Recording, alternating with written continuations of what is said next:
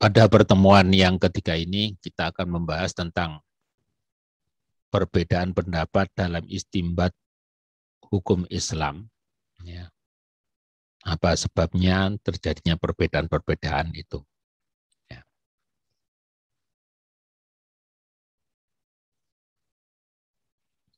Dalam pembahasannya, dalam bab yang ketiga ini, pertemuan yang ketiga ini adalah kita membahas asal mula perselisihan, kedua adalah macam-macam perbedaan pendapat dalam istimbat hukum, yang ketiga adalah perbedaan dalam memahami Al-Quran, dan keempat adalah perbedaan dalam mengartikan dan memperhitungkan kedudukan hadis, dan yang kelima adalah perbedaan metode istihad yang dilakukan oleh para ulama atau ahli istihad atau mustahid.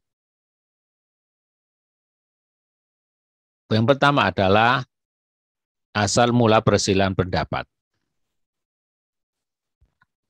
Syekh Ali Al-Khafif berkata bahwasanya akar dari perbedaan perbedaan di antara fukoha atau ulama ahli fikih sebab-sebab perbedaan pendapat itu dibagi menjadi tiga, yaitu yang pertama kemampuan berpikir pada setiap orang yang berbeda-beda. Yang kedua adalah penguasaan dan pemahaman atas nas atau dalil ya yang berbeda. Yang ketiga adalah metodologi yang dipakai dalam istihad. Ya. Ini juga berbeda. Sedang kemampuan nah berbeda dari ini yang terjadi ya pada setiap orang yang berbeda-beda ini ya kemampuan berpikir pada setiap orang yang berbeda-beda ini ya menyebabkan adalah timbulnya perbedaan arti ya yang terjadi pada kata bahasa Arab ya. Selalu contoh ya di dalam Al-Qur'an ya dalam surat Al-Baqarah ayat ya 228 itu ada firman Allah yang mengatakan wal mutallaqatu yatarabas nabi angfuzina salah satu quru. Maka di sini ada istilah kuruk banyaknya lafaz yang mengandung arti dalam bahasa Arab ini seperti Al-Qur'an ini ya ada yang ya mengartikan kuro adalah artinya suci dan juga ada yang mengartikan bahwa Al-Qur'an itu maknanya head. Ya, tapi para sahabat Nabi dalam memanai Al-Qur'an pada ayat ya 228 surat Al-Baqarah ini ayat tersebut membahas tentang idah seorang wanita yang suaminya meninggal. Ya. Dan arti ayat itu sehingga menimbulkan perbedaan gitu ya. Maka di situ diwatkan bahwa Sayyidah Aisyah Ibnu Umar Zaid bin Sabit radhiyallahu an ya mengartikan kata al-quru itu adalah suci. Arti masa iddah. Artinya adalah masa iddah wanita-wanita tersebut ditetapkan sesuai dengan masa suci, yaitu selesai head sebanyak tiga kali. Sedangkan menurut Sayyidina Abu Bakar Siddiq, Sayyidina Umar bin Khattab, Sayyidina Utsman bin Affan, dan Sayyidina Ali bin Abi Thalib radhiyallahu anha mengatakan bahwa Al-Quru itu mempunyai arti makna head. Ini yang menjadikan sebab perbedaan-perbedaan pendapat ya dalam memberikan arti di situ. Karena kuruk ada yang mengatakan suci, ada yang kuruk yang mengatakan head. Sehingga waktu daripada idah itu juga akan berbeda-beda karena perbedaan makna di situ. Ya. Maka perbedaan tentang arti dari surah Al-Baqarah ini tidak hanya sampai pada masa Nabi, ya, Namun pada masa-masa Imam Mazhab, yaitu pendapat ya, pertama tentang Al-Quru ya, atau Atuhuru diikuti oleh Imam Malik, diikuti oleh Imam Syafi'i, Imam Muhammad bin Hambal, ya, sementara pandangan keduanya ini Al-Quru itu ada, ada yang mengatakan Al-Haid. Sedang Imam Hanifah mengikuti pendapat kelompok kedua. Ya. Ini menjadi sebabnya perbedaan di situ. Ya. Yang kedua adalah ya perbedaan di dalam riwayat sebuah hadis. Karena ada beberapa jalur periwayatan hadis antara lain adalah hadis yang sampai pada seorang ulama, tapi dia sampai pada sebagian ulama lainnya. Artinya bahwa hadis yang sampai pada ulama ya tentang periwayatannya ya menggunakan sangat ya yang lemah atau doif ya Akibatnya hadis tersebut tidak dapat digunakan untuk dasar dalam istimbat hukum. Sedangkan ulama yang lain mengatakan itu tidak doif. Ya. Sedangkan ada pula hadis yang periwayatannya menggunakan jalur sanad yang kuat atau sohe sehingga hadis tersebut dapat digunakan sebagai dalil atau dasar istimbat. Ini menjadi sebab daripada perbedaan. Ya. Jadi perbedaan yang ya eh, penyebab daripada perbedaan-perbedaan riwayat itu itu hadis yang sampai pada seorang ulama tidak sampai pada ulama yang lain. Hal yang diterima pada ulama dengan sanad yang lemah atau doif. Yang ketiga adalah hadis yang diterima dengan jalur sanad yang kuat atau soheh. Yang ketiga adalah perbedaan sumber dalil. Ya. Sumber dalil yang digunakan dalam beristihad itu dibagi menjadi dua. Ada sumber dalil yang disepakati yaitu Al-Quran, Sunnah, Ijma, dan Kias. Ada sumber dalil yang diperselisihkan atau muhtalaf fih. Ya. Muhtalaf fiha di situ. Ya, ada, ada termasuk apa? Yang dalil yang muhtalaf fiha itu adalah uh, al-ihtisan, ada al-maslaha, al-mursala, ada sar'u, man qoblana, uraf, dan lain-lain. mengenai sumber dalil tersebut, para pengguna ada yang memakai, ada juga yang menolaknya. Ada yang menerima dengan syarat, ya, hal ini yang menyebabkan timbulnya perbedaan dalam sebuah ijtihad di situ.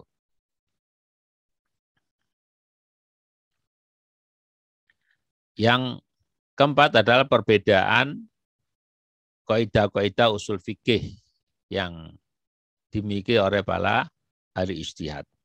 Ya, seperti sebuah pendapat yang diuraikan adalah kalimat kata umum ini mempunyai arti khusus.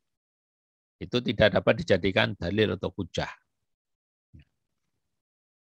Dan juga pandangan yang dikatakan oleh mazhab ya, Zahiri, yaitu al-maful al-muwafaqah, itu dia bisa digunakan untuk beristimbat.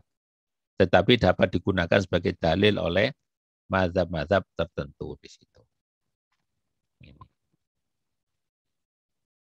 Penyebab perbedaan yang ketiga, kelima adalah ya dia menggunakan perselisian dengan kias. Ya. Artinya apa? Mengurai perselisihan dengan menggunakan kias dapat menimbulkan banyak perbedaan. Dikarenakan dalam kias sendiri mengandung banyak pedoman-pedoman, syarat-syarat serta alasan-alasan atau ilah. Dan pada setiap ilat terdiri dari kapabilitas dan penerapannya sangat sulit. Hal ini menyebabkan para ulama mujtahidin berbeda pandangan, misalnya tentang tertib atau urutan. Madhab Imam Syafi'i berpendapat dalam tata cara wudhu yang terdapat pada surat Al-Maidah ayat 6, yaitu membasuh, maka ya, membasuh muka dulu, membasuh tangan sampai siku, mengusap kepala, kemudian membasuh kaki sampai dengan mata kaki. adalah hal yang fardu atau yang wajib dilakukan oleh setiap orang yang melaksanakan wudhu. Dan jika tidak dilakukan, maka wudhunya dianggap tidak sah. Cara wudhu tersebut sama halnya dengan ibadah lainnya seperti sa'i juga menggunakan dalil kias. Ibadah sa'i yang dijelaskan dalam ayat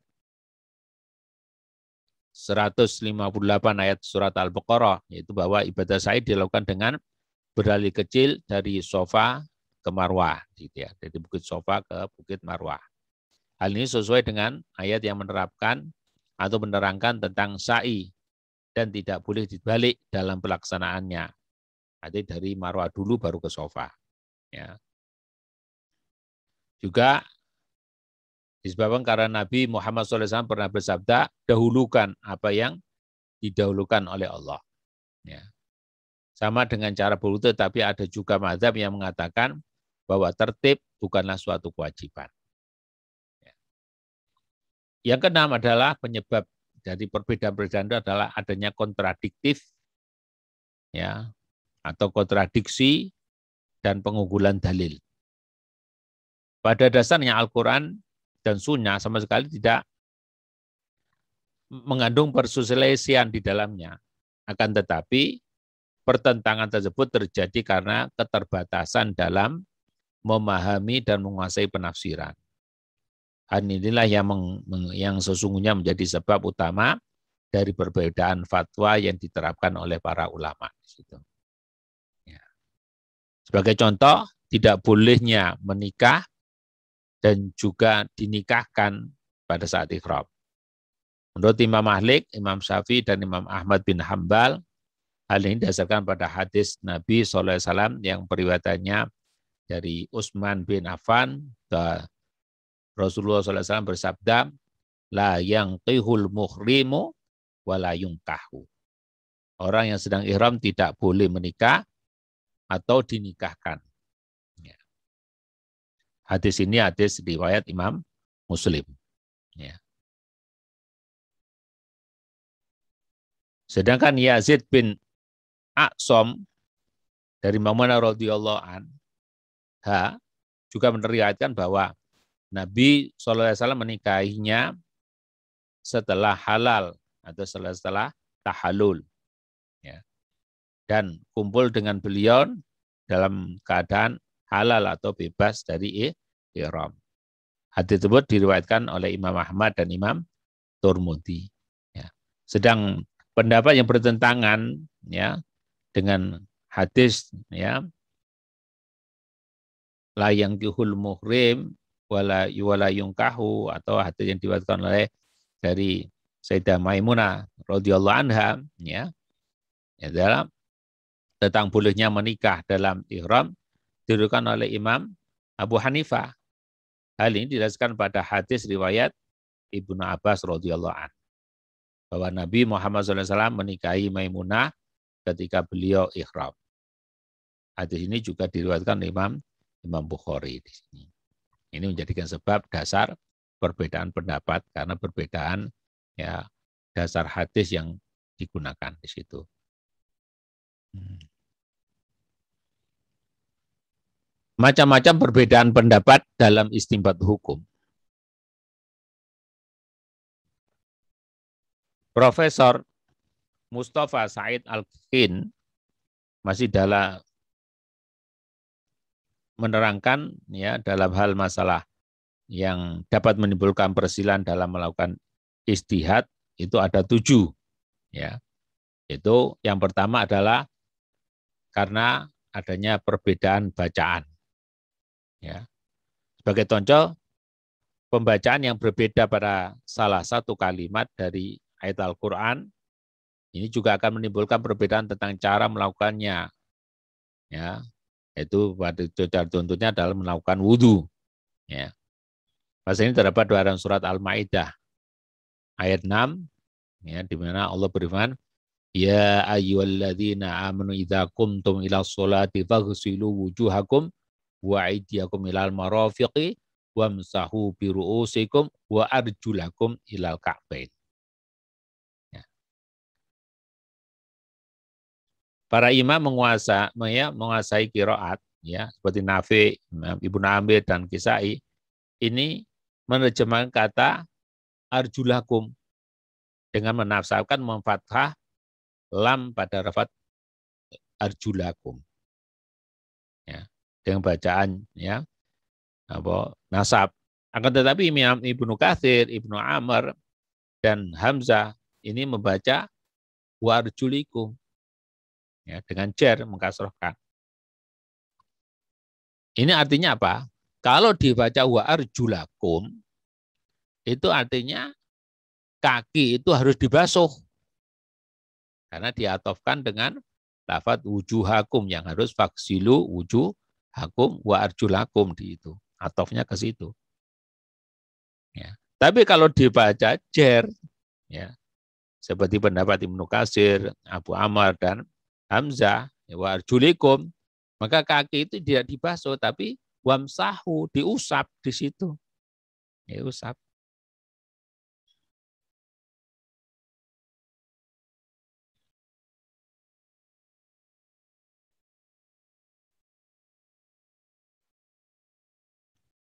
Jadi perbedaan yang satu mau mengatakan bahwa kaki cukup di ya, diusap, tapi yang satu kan yang dibaca nasab harus dibasuh, tidak boleh di hanya sekedar diusap di situ. Ini karena karena perbedaan bacaan di sini.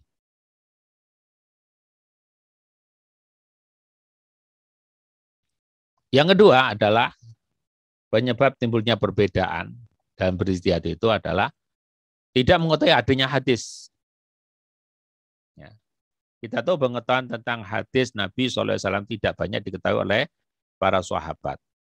Ada yang berapa sahabat yang memahami dan sebagian lain tidak memahami tentang hadis tertentu. Ya. Hal ini dikarenakan para sahabat tidak setiap waktu bersama-sama dengan Nabi Shallallahu Alaihi Wasallam. Kebersamaan yang tidak setiap waktu inilah yang mengakibatkan ketidaksamaan sahabat akan sabda dan kegiatan yang dilakukan oleh Nabi Muhammad Shallallahu Alaihi Wasallam. Salah satu contohnya adalah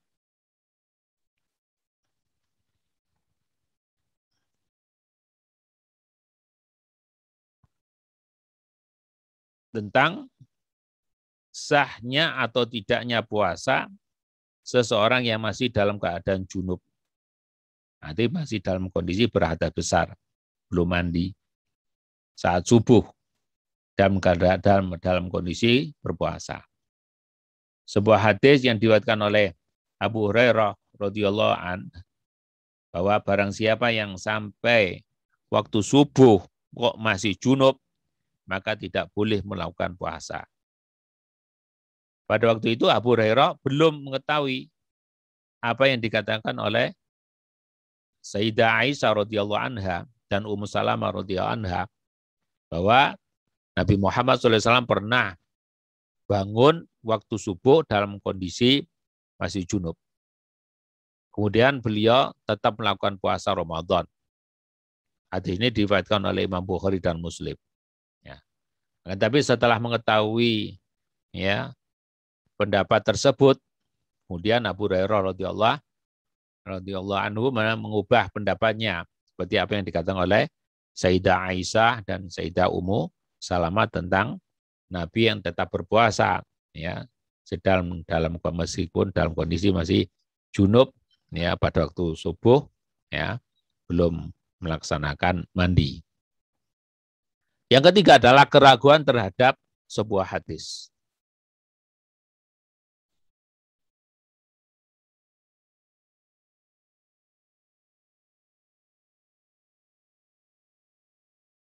Terkait hadis atau sunnah Nabi SAW, para sahabat Nabi ya selalu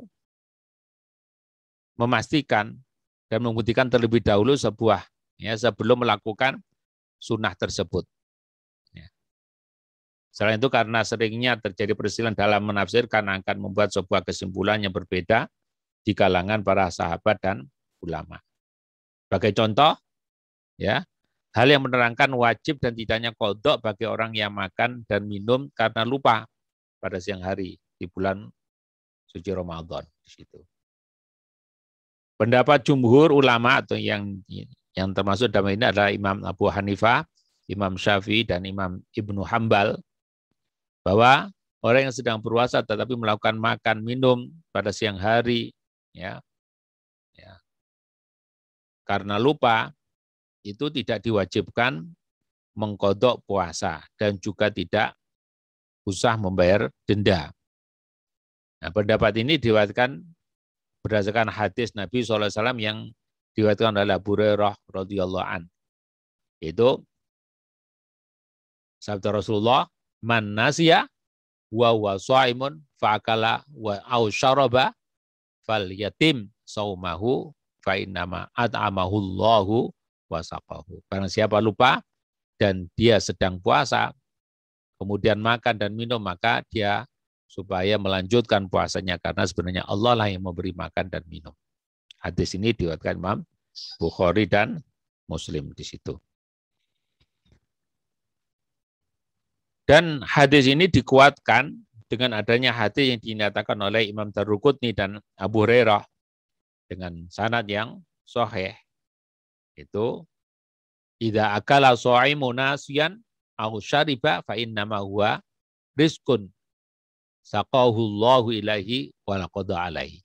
Apabila yang sedang berpuasa itu makan atau minum karena lupa, maka itu merupakan rizki yang diberikan Allah kepadanya dan tidak perlu mengkodok di situ. Akan tetapi dalam hal ini Imam Malik memiliki, memiliki pendapat sendiri, yaitu orang yang sedang berpuasa dan melakukan makan dan minum di siang hari ini meskipun lupa ya itu batal puasanya dan wajib kodok ya. Karena menurut Imam Malik ya hadis awal masih butuh di, diinterpretasikan ya sedang hadis yang kedua dianggap tidak sahih menurut Imam ya. Malik di situ. Ya, ini yang menjadikan sebab perbedaan ya yang terjadi pada ya para ulama di situ ya.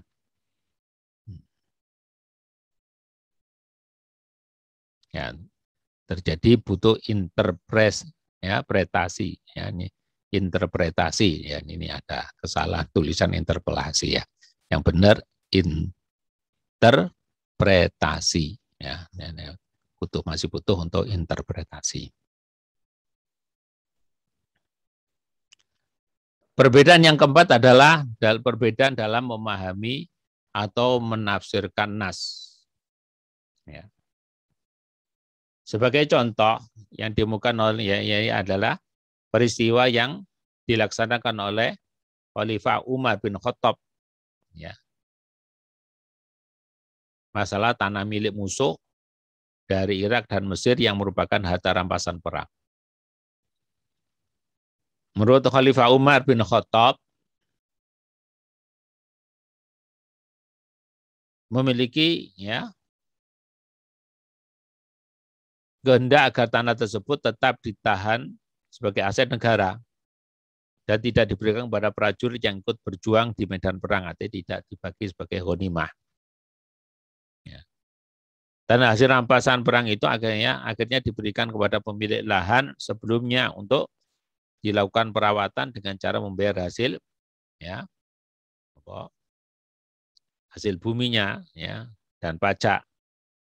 Hal ini bertujuan untuk mendapatkan sumber penghasilan ya guna kepentingan sosial dan ya pemberdayaan negara. Alasan Khalifah Umar bin Khattab dalam hal ini adalah berdasarkan surat Al-Hasr ayat 6 sampai 10 dan surat Al-Anfal yang 41 ya yang ditaksis dengan surat Al-Hasr di situ.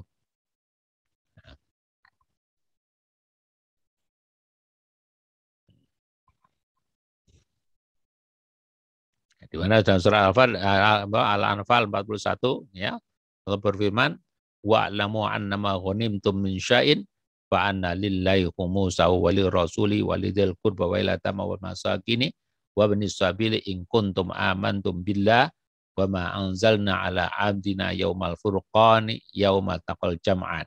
Wallahu ala kulli syai'in qadir. Ya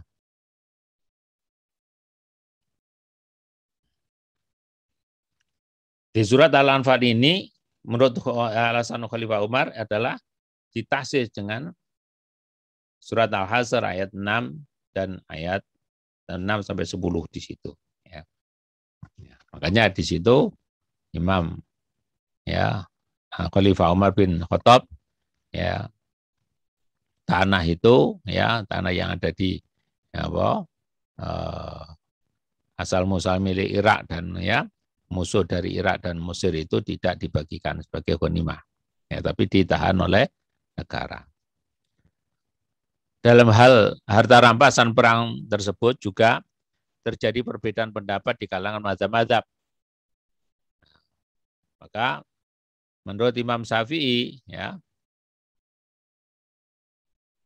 dan Imam Ahmad bin Hambal ini punya pendapat harta yang dihasilkan dalam peperangan atau ya atau honima ini akan dibadikan pada paranya pada para prajurit atau pejuang yang ikut ya di dalam peperangan. Apa pun bentuknya, baik dalam bentuk benda bergerak maupun benda yang tidak bergerak. Hal ini dilandaskan pada Kitabullah surat Al-Anfal. Ya.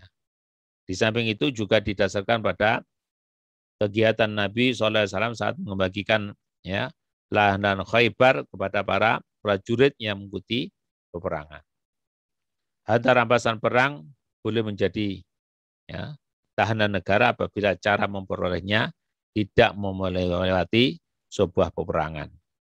Dan biasanya dikatakan dengan istilah al di situ, harta fe. Berbeda dengan pendapat Imam Malik ya yang mengatakan bahwa ya benda yang tidak bergerak seperti tanah itu tidak boleh dibagikan kepada para prajurit akan tetapi dijadikan wakaf. Yang nantinya hasil dari wakaf tersebut akan digunakan untuk fasilitas bersama seperti biaya operasional pemerintah dan juga fasilitas sosial lainnya kecuali apabila ada kebutuhan khusus yang sangat penting dan mendesak tanah yang diwakafkan dapat dibagikan oleh pemerintah. Ya. Sedang pendapat Imam Abu dalam harta rampasan perang ini memberikan kebebasan. Ya. Artinya tanah-tanah yang ada ya karena peperangan itu diserahkan ya. Sepenuhnya kepada ya kepala negara yang mempunyai kekuasaan. Ya kekuasaan dalam hal ini di situ. Ya.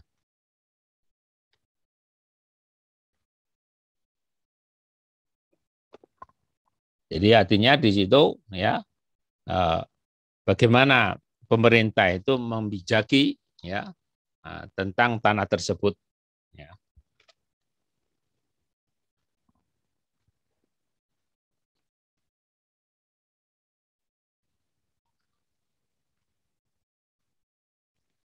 Jadi apakah nah ya seperti Nabi Muhammad yang membagikan ghanimah kepada ya para prajurit ya atau ya menjadikan ghanimah sebagai sebuah sumber penghasilan yang tujuan akan digunakan untuk kepentingan umum. Arti arti nama arti ini adalah dikuasai oleh negara di situ.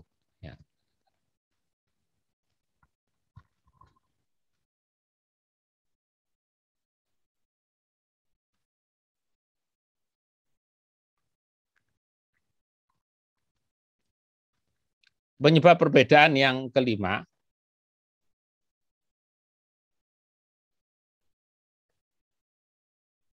adalah adanya kerancuan ya makna dalam suatu kata ya. Atau kata itu yang masih uh, mengandung makna istirok ya di filafdi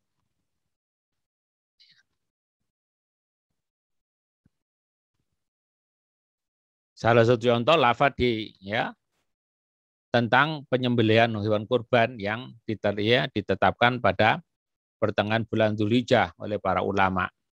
Yaitu para ulama menetapkan bahwa penyembelihan kurban itu mulai tanggal 10, 11, 12, dan 13 Dzulhijjah. Dan pernyataan ini dilandaskan pada ayat Al-Quran ya, dan surat Al-Hajj ayat 28 ya. Disebutkan liyashadu manafi'a lahum. Nah, wa yadhkurun wa yadhkurusmallahi fi ayyamin ma'lumat ala ma razaqahum min bahimatil an'am. Fakulu minha wa at'imul ba'isal faqir. Dalam hal ini, para ulama berbeda pendapat dalam menyembelih hewan kurban. Bolehkah pada malam hari? Karena dalam ayat tersebut dikatakan ayam di situ. Ayam itu apakah masuknya untuk siang hari saja atau malam hari juga masuk di itu. Ya. Atau hanya perjabatan hanya terbatas pada siang hari. Ayam diartikan siang hari saja. Mayoritas ulama mengungkapkan baik malam maupun siang hari, tanggal 10 sampai tanggal 13 Zulhijjah, ini termasuk kategori al-ayam maklumat. Ya. Hingga penyembelihan hewan kurban boleh dilaksanakan. Sedangkan ulama-ulama mujtahid yang lain ini membolehkan menyembelih ya di siang hari atau di malam hari, ini yang mengikuti pendapat ini adalah yang membolehkan adalah Imam Abu Hanifah, Imam Syafi'i, Imam Ahmad dan Ishaq, Imam Abu Thur, ya. saja Imam Syafi'i menghukumi makruh pada pemotongan hewan kurban pada saat malam hari, tapi tidak melarang gitu ya, hanya menghukumi makruh. Sedangkan Imam Malik dan riwayat yang masyhur bila hanya membolehkan penyembelihan kurban itu pada siang hari dan tidak boleh pada malam hari. Jadi timbulnya perbedaan ini karena bedanya penafsiran kata ayam, ayam maklumat ini. Yang diartikan, ada yang mengatakan siang dan malam, ada yang mengatakan siang saja.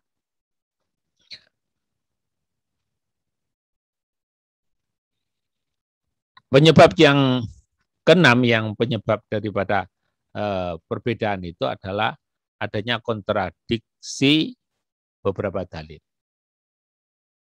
Kontradiksi beberapa dalil tentang tayamum, contohnya, ya, di mana Imam Ahmad bin Hambal benar bahwa tayamum cukup dilakukan dengan satu kali sentuhan debu yang digunakan untuk mengusap wajah dan tangan. Ya. Jadi tidak sampai dua kali, satu kali. Ya. Ini diikuti oleh Imam Al-Hadis. Hal ini didasarkan pada dalil riwayat Amar bin Yasir yang mengungkapkan bahwa Rasulullah SAW pernah bersabda, ya, fit tayamumi dorbatun lil waji waliyatin. Dalam bertayamum, ya,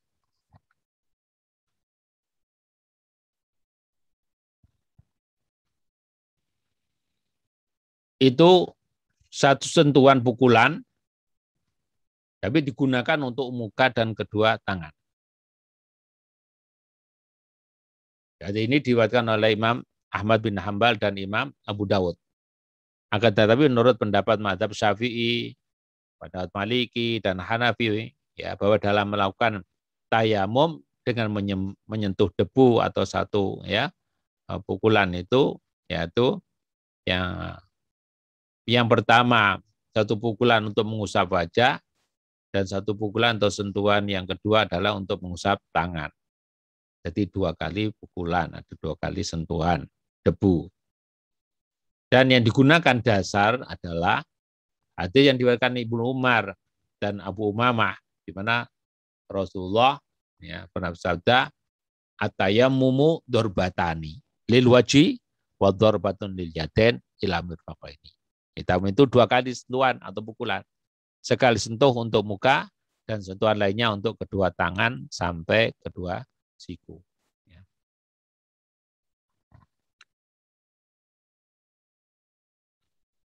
Penyebab perbedaan yang ketujuh adalah tidak adanya nas dalam suatu masalah. Setelah meninggalnya Nabi Muhammad SAW, beberapa masalah muncul, khususnya masalah-masalah baru yang dikarenakan dinamika perkembangan zaman yang terjadi pada masyarakat sosial dan masalah bahwa baru tersebut ya belum ya, terdapat nas Al-Qur'an maupun ketetapan hukum yang ditunjukkan oleh Nabi SAW. Karena hal tersebut akhirnya para sahabat dan ulama, ulama beristihad melalui kesepakatan para ahli ijma' dini, kias dan juga dengan berbagai cara lainnya. Beberapa berbagai metode yang digunakan oleh uh, untuk beristihad ini. Ini yang kemudian menimbulkan perbedaan pendapat. Salah satu contoh tentang hak waris kakek di sini. Ya. Karena adanya sanak saudara orang yang meninggal ya. Jadi masalah miros al mirasul jad mal ikhwati. Ada dua buat ada dua pendapat sahabat Nabi tentang masalah hal ini. Pertama, pendapat Ibnu Abbas yang berpendapat bahwa kakek lebih diutamakan daripada saudara yang yang men, ya saudara orang yang meninggal dalam masalah waris. Jika masih ada kakek, maka ya saudara yang yang orang, anak itu seorang saudara orang yang meninggal ya ini tidak dapat maka kakek ya ya cukup yang mendapatkan sedang yang lain menjadi mahjub karena adanya kakek di sini. Pendapat yang kedua, kakek dan saudara yang men, orang ya dari orang yang meninggal ini sama-sama berhak mendapatkan warisan. Ya, maka ulama-ulama mustahidin bersetuju pada pendapat pertama yaitu pendapat yang dibawa oleh Abu Abu Hanifah, Zufar, Hasan bin Ziyad, ya, Dawud al dan Ibnu Ibnu Hambal. Sedangkan yang setuju atas pendapat yang kedua yaitu ada mazhab Syafi'i, Maliki dan Hambali, yaitu manakah bahwa eh, ketika imam ini mengatakan ya bahwa kakek dan saudara yang meninggal itu sama-sama berhak mewarisi warisan dari orang yang meninggal. Ya, jadi contoh perbedaan pendapat dalam istimbat hukum ini ya cara mengambil hukum Islam ini memang menjadikan sebab terjadinya banyak perbedaan-perbedaan di situ. Ya. Kemudian selanjutnya adalah perbedaan yang disebabkan karena perbedaan dalam memahami Al-Quran di situ. Dalam kitabullah terdapat banyak lafaz yang mempunyai arti lebih dari satu makna. Arti, artinya satu kalimat, satu lafaz itu mempunyai makna yang mustarok, yang disekutukan lebih dari satu. Saya contoh pada lafaz Quran ya yang tadi sudah kita ya bahas ya di masalah kuruk ya itu ada yang mempunyai makna suci, ada yang mempunyai makna head itu ya, head.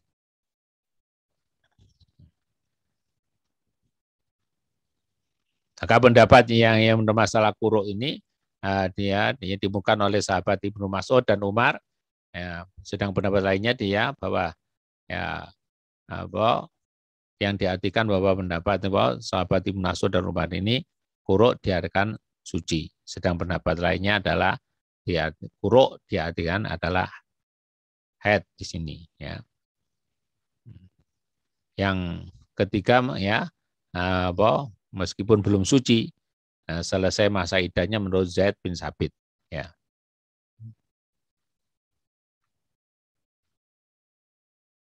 Jadi artinya menurut pendapat pendapat, pendapat apa Z bin Sabit itu ya habisnya idah itu selesainya head yang ketiga meskipun belum suci ya ada ulama yang berbeda berpendapat bahwa kata kuro itu dipakai ya agar kita berusaha untuk memahaminya dan dapat mengetahui perbedaan pendapat dalam pemaknaan. Ya. Maka kita tahu bahwa susunan ayat dalam Al-Quran meskipun sebagai sebagian besar juga memberikan peluang timbulnya perbedaan pendapat ya seperti ya, pada huruf fa wawu au illa hatta ya. Dan sebagian lainnya mengandung yang banyak punya fungsi yang ya dengan konteksnya ini masing-masing berbeda di situ. Sebagai contoh huruf fa pada ya. Surat Al-Baqarah ayat ya 226 sampai 227 ya. Di situ Allah berfirman lilladzina yu'luna min nisaihim tarabbusu arba'ati asyur. Fa in fa'u fa innallaha ghafurur rahim. Wa in azamu at-talaqa fa innallaha sami'un alim. Ya. Kepada orang-orang yang mengilak istrinya diberi tangguh empat bulan namanya. Kemudian jika mereka kembali pada istrinya, maka sungguhnya Allah maha pengampun lagi maha penyayang. Dan mereka berazam bertetap hati untuk nalak, maka sungguhnya Allah maha mendengar dan lagi maha mengetahui. Ya. Maka dalam dalam ayat ini, ya, kata fa, huruf fa ini, ya huruf fa ini mempunyai dua fungsi. Ya, mempunyai dua fungsi.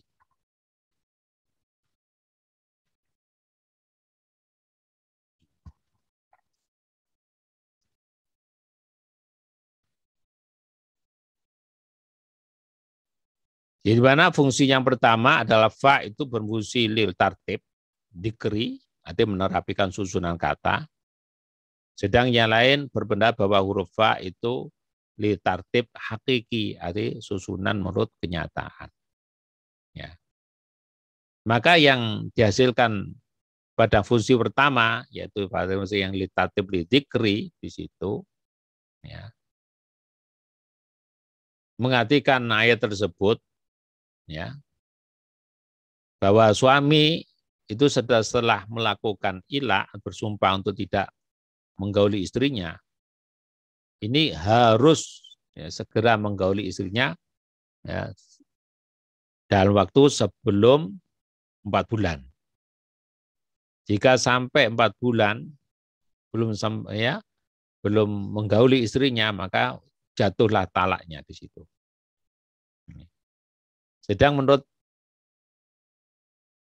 fungsi fa yang kedua yang dikatakan lirtatif hakiki ini mempunyai arti yang mengandung bahwa agar ya tuntutan agar mencampuri atau menggauli istrinya ini tujuannya untuk menjauhkan ya jatuhnya talak di situ ya setelah usia lebih dari empat bulan. Ya. Maka perbedaan dalam mengartikan lafat ya, yang selanjutnya yang sebagai penyebab perbedaan pendapat para ulama adalah perbedaan yang juga disebabkan karena mengartikan lafat yang am, yang khos, mujmal, mubayan, mutlak, mukoyat, dan nasih, dan mansuh di situ.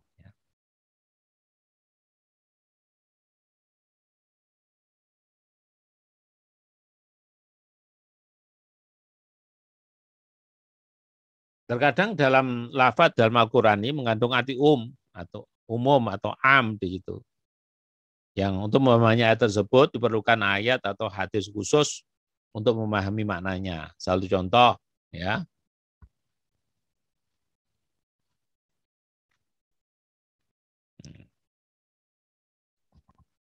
Dalam surat At-Taubat ya, ayat 103 di situ ya. Allah berfirman, "Khud min amwalikum sadaqah. Tutahhiruhum wa tuzakkihim bima wasalli alaihim." Ya. Yang menjadi perbedaan di sini adalah kata-kata amwal di sini. Ya.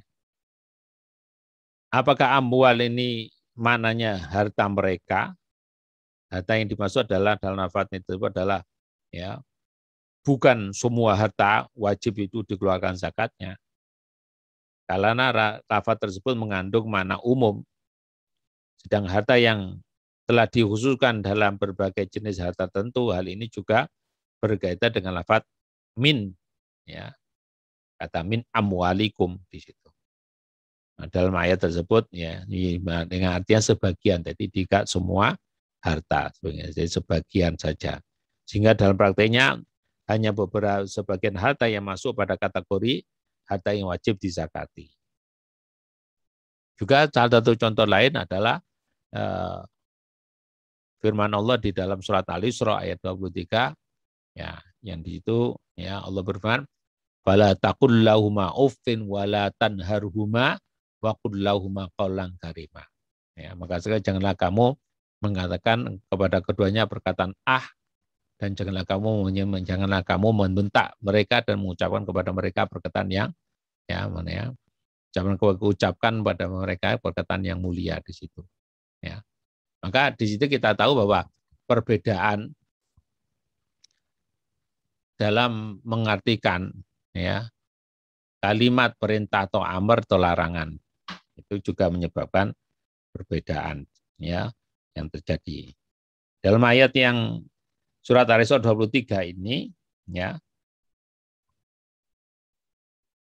mengucapkan kata ah terdapat orang tua ini adalah suatu hal yang merupakan larangan. Maka khusus ya, ketika mengucapkan kata ah ini di, diumumkan pada perbuatan yang pada hal yang menyakiti fisik maupun psikis ya. Ya, dan itu termasuk bagian yang dilarang ya. Kemudian penyebab perbedaan yang selanjutnya adalah karena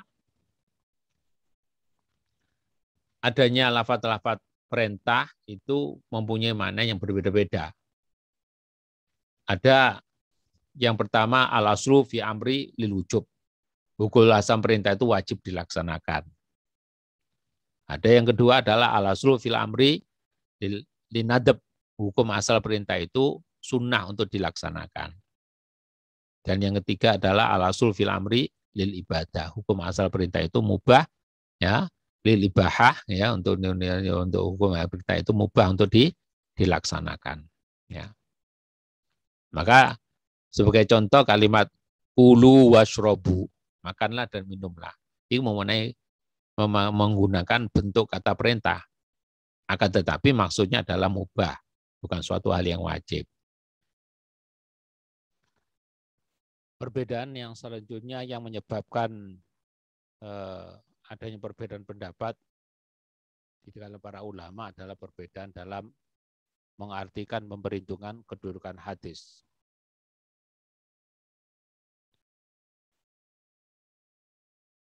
Kita tahu telah disepakati oleh para ulama bahwa hadis mutawatir itu adalah hadis yang tertinggi kedudukannya. Nah, dalam hadis mutawatir yang dikatakan hadis mutawatir adalah hadis soheh yang telah diriwayatkan oleh orang banyak yang terpercaya.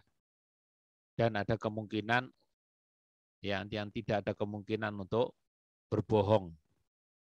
Ya karena banyaknya orang di situ. Ya. Makanya menjadi perbedaan pendapat di dalam para ulama adalah kategori orang banyak.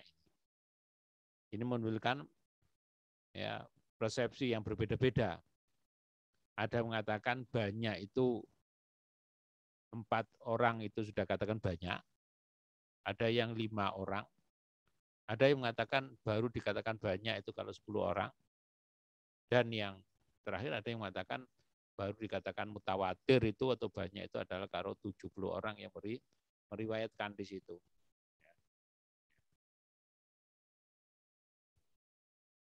Sehingga makna dari banyak orang itu mengandung arti mutawatir bagi satu ulama, tapi tidak mutawatir dalam pandangan ulama lain karena perbedaan penghitungan banyak itu. Bagi orang yang mengatakan mutawatir, patuh sudah mutawatir, maka dikatakan tidak mutawatir bagi orang yang berpendapat mutawatir itu harus lima atau sepuluh atau tujuh puluh. Ya, sama halnya dengan tentang syarat arti bahwa sebuah hadis dapat dikatakan soheh. Ya. Dalam salah satu syarat perawi, ya itu dikatakan bahwa seorang rawi itu harus ya punya ya sifat adil. Adil dalam hal ini itu para ulama berbeda-beda di dalam mensyaratkan istilah adil orang yang adil itu. Ada orang yang katakan adil itu harus memenuhi tujuh syarat. Ya, ini menurut menurutin. Ya. Ada yang tiga hal ya, ya. Menurut Anwar Hakim di dalamnya ini adalah uh, cukup tiga syaratnya. Ya, terdapat unsur, unsur yang di dalamnya itu ada unsur yang uh, masyarakat tidak melakukan bid'ah, termasuk uh, syarat adil bagi perawi. Nah, hal ini yang menyebabkan mayoritas ulama dan hanya Imam Hakim yang menyediakan hal yang memelihara muruah itu ya, atau kehormatan diri sebagai syarat bagi adilnya. Yang lain muruah itu tidak termasuk bagian daripada syarat adilnya seorang perawi hadis. Sehingga apa? Sebuah hadis itu dapat ya dikatakan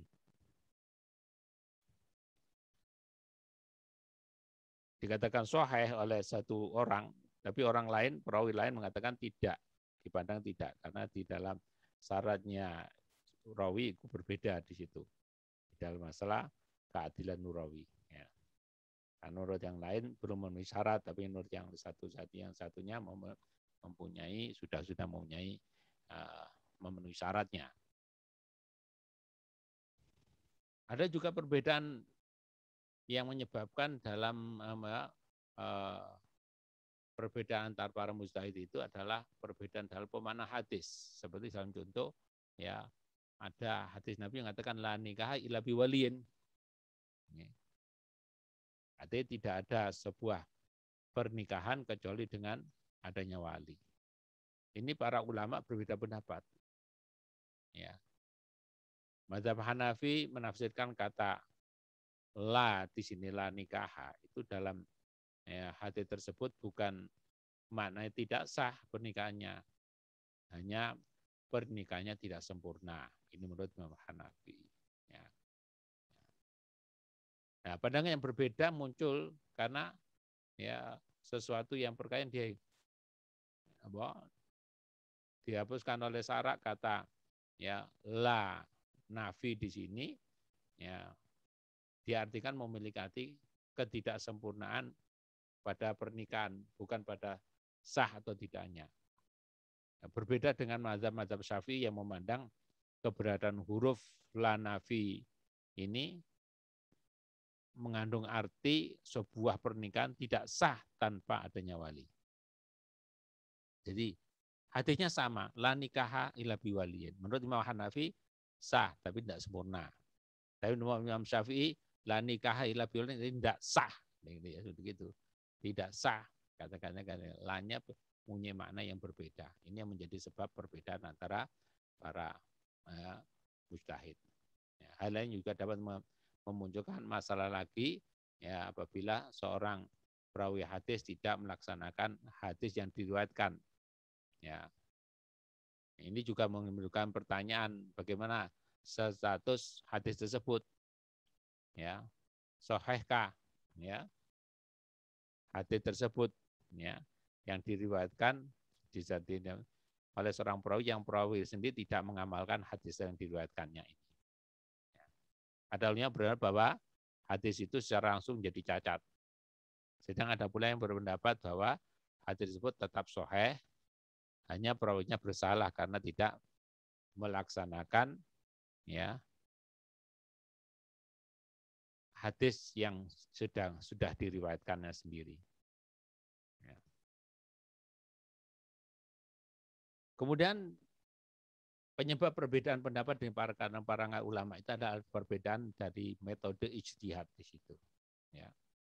Kita tahu mazhab ya sudah mulai muncul pada sejak zaman sahabat. Ya. Golongan pertama ya adalah golongan Sayyidina Ali dan Nabi Nabi Thalib dan saya sahabat Bilal. Ya, dua orang ini mau lebih memfokuskan pada nas Al-Quran secara ketat. Sedang golongan yang kedua adalah golongan ya, dari Sayyidina Umar bin Khattab dan Ibnu Mas'ud. Mereka lebih menekankan akal ya pada penafsiran yang luas terhadap suatu nas. Ya. Pada proses berkembangnya penyebaran kedua kelompok ini ya masuk ke dalam daerah-daerah yang mempunyai pengaruhnya masing-masing. Seperti dalam daerah Hijaz yang ditempati kelompok pertama. Sedang untuk Kufah ditempati oleh kelompok kedua. Hal ini yang kemudian menunjukkan bahwa Imam Malik bin Anas yang menetap di Madinah atau di Hijaz dan Imam Abu Hanifah menetap di Kufah. Ini berbeda pendapat. Tempat di mana kedua ulama itu tinggal itu sangat menentukan pandangan mereka terhadap suatu kasus. Sehingga apa? Menimbulkan sebab perbedaan. Hal yang menjadi sebab perbedaan adalah daerah yang ditempati Imam Malik. Masih banyak sahabat Nabi SAW yang tinggal di daerah tersebut. Tapi tidak banyak sahabat Nabi pada daerah yang ditempati Imam Abu Hanifah. Sehingga dalam penerimaan hadis Imam Malik lebih banyak menggunakan hadis Nabi yang ia tahu dari para sahabat secara langsung dibandingkan dengan menggunakan akal. Akan tetapi tetap ya, melihat pada kegiatan orang Madinah sebagai sebuah hukum. Sedangkan Imam Abu Hanifah ya lebih menekankan pada penggunaan akal tapi dengan syarat yang ketat dalam menerima periwayatan hadis. Hal ini dilakukan oleh Abu Hanifah untuk menghindari banyaknya hadis palsu yang sudah menyebar di darahnya. Dengan cara yang digunakan untuk menolak hadis-hadis palsu itu adalah Imam Abu Hanifah menghindari diterimanya hadis palsu dengan menggunakan kias atau ihtisan secara luas. Berbeda lain dengan Imam Syafi'i.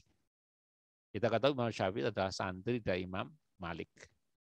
Dan Imam Ahmad bin Hambal adalah murid juga dari Imam Syafi'i. Kemudian ketiganya disebut sebagai pemuka ahlul hadis. Jadi Imam Syafi'i, Imam Malik, Imam Ahmad bin Hambal pemuka ahlul hadis di daerah Hijaz. Sedang Abu Yusuf dan Muhammad adalah murid dari Imam Abu Hanifah. Ya, pada sebuah riwayat Imam Syafi'i juga pernah berguru pada ya, Muhammad, ya, murid dari Abu Hanifah. Namun Imam Syafi'i tetap lebih cenderung pada kelompok ahlul hadis. Ya, selanjutnya kelompok kufah dikenal dengan kelompok ahli ra'i. Ya. Sehingga ketika kita tahu bahwa secara madzhab ini menyebabkan ya, menyebutkan selain empat madhab ini sebenarnya le, tidak hanya empat, ini lebih. Ya, diperkirakan mencapai 500 madhab. Hanya saja dalam perkembangannya madhab-madhab yang lain itu tidak ada penerusnya, ya, tidak ada murid yang melanggengkan madhabnya di situ. Berbeda dengan empat madhab yang banyak diikuti oleh murid-muridnya dan muridnya. Ini terus mengembangkan mazhab-mazhab yang yang dipunyai oleh uh, para guru-gurunya di sini yaitu empat mazhab ini yang yang banyak muridnya dan banyak uh, pengembang-pengembang mazhab dari yang ada di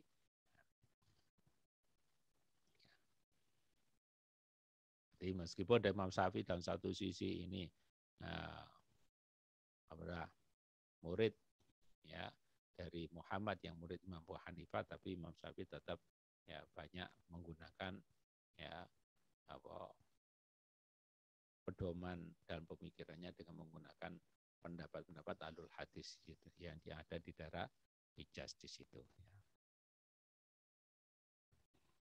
Dan yang terakhir soal yang wajib dikerjakan ya dalam tempo waktu tiga hari setelah jadwal kuliah dan dikumul ke email pekerjaan kuliahku@gmail.com bagi yang belum bisa gabung di Google Classroom. Tapi yang sudah bisa gabung di Google Classroom harap mengumpulkan tugas ini di Google Classroom yang sudah di ya,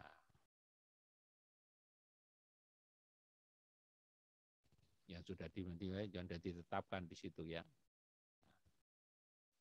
Jangan lupa jangan ini jangan disebutkan prodi ya, prodinya ya, kelasnya dan hari perkuliahannya. Adapun e, pertanyaan yang yang harus dijawab itu ada empat ini yaitu sebutkan ya sebab perbedaan pendapat dalam pengambilan istimbat hukum hukum Islam di situ ya yang kedua, berikan satu contoh hukum Islam dan perbedaan ulama dan menentukan hukum tersebut. Klasifikasikan sebab terjadi pendapat menurut sumber hukum Islam. Dan keempat adalah buatlah peta konsep sebab-sebab terjadi pendapat dalam istimbat hukum Islam. Ini empat soal yang harus dikerjakan dan hukumnya wajib ya karena ada nilai yang akan di komparasikan dengan nilai-nilai UAS dan UTS di situ. Ya. Akhirnya saya ucapkan terima kasih atas perhatian, semoga sukses dan selalu sehat. Ya. Dan saya saya akhiri, ya. Assalamualaikum warahmatullahi wabarakatuh. Dan sebelum kita tutup, mohon didengarkan dulu ya atau dibaca bersama-sama baca doa akhir perkuliahan dan bawa selawat Nuril Anwar. Berikut.